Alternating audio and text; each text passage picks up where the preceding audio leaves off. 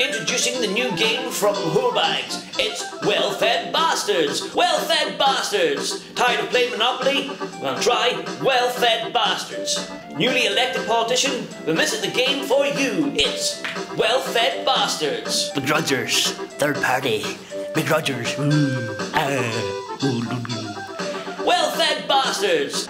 Oh, oh no. Uh, uh, begrudgers. Take a Chancer card! You have successfully brokered a deal to have wind farms put onto your undeclared land. You win 10,000 euros! Loads of money.